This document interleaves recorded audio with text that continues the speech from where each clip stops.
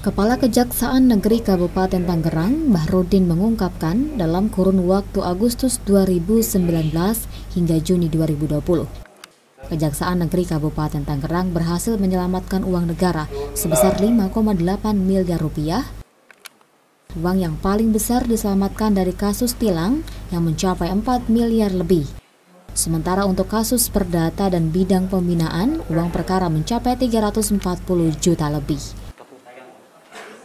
Ini seperti yang saya sampaikan, ini salah satu contoh uang uh, hasil daripada uh, uang tilang, biaya denda perkara dan uang pengganti perkara Itsus.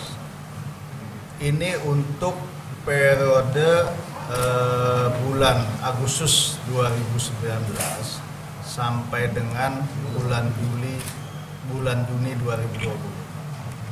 Ya, salah satunya itu dari uh, biaya uh, tilang, dari denda tilang yang merupakan uh, eh, PNBP Kejaksaan. Berdasarkan data itu untuk yang paling besar itu denda tilang.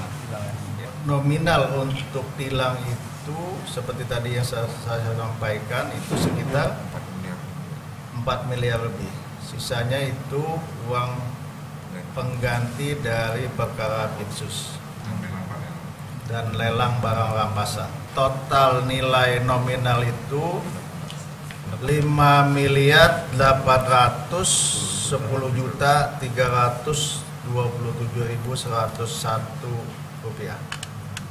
Oke. Selanjutnya Kejari akan menyetorkan uang tersebut ke kas negara.